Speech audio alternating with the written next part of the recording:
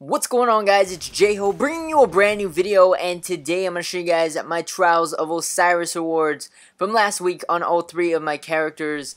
Last week's Trials map was Rusted Lands and it's pretty interesting how Bungie's bringing back some of these year 1 maps for year 2 of Trials of Osiris. So it's pretty cool to see some of these old maps make a return.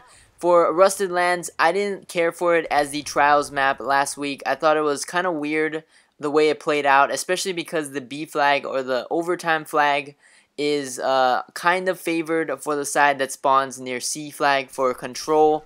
So it was a little bit more harder for the team that spawns on the A side or the top side of the map to kind of move toward the flag if the team just plays really passive. So it was pretty interesting. I didn't really care for it as much as like Firebase the previous week but it was still pretty good week. I was able to get some flawless lighthouse rewards and stuff. So pretty good stuff and let's get into my rewards from last week. So starting off on my first character on my hunter from the lighthouse chest, we were able to get ourselves a inward lamp adept and four motes of light and my inward lamp the scout rifle came in at 313 so not the greatest value, but it was still pretty decent. The Inward Lamp actually tried it out recently, and it's a pretty solid scout rifle for PvP. I think it's a really good one, especially because it comes with full auto on it, so it makes it even faster. It's a very high fire rate scout rifle, so I like it a lot. And then moving on to the bounties for trials. For the first four packages, we got the usual legendary marks,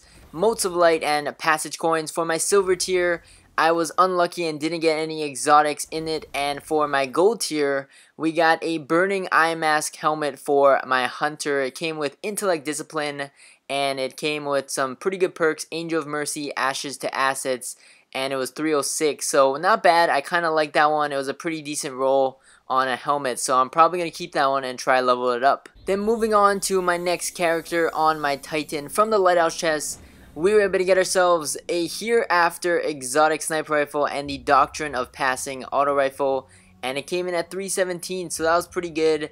I finally got a higher level weapon from the lighthouse chest that I can use to infuse into something if I need it so that was pretty good drop for me there. And then going into my trials bounties for my Titan, we were able to get passage coins, motes of light, and legendary marks for my first four. For the silver tier, we got no exotics once again, and for the gold tier, we got the Wings of Apris full artifact. So I actually got that one from week one in my gold tier, and mine came in at 310 from the previous time, and uh, this one was only 300, so that was kind of a bummer there. Finally, on my last lighthouse chest for my warlock, we were able to get ourselves another inward lamp adept and six motes of light.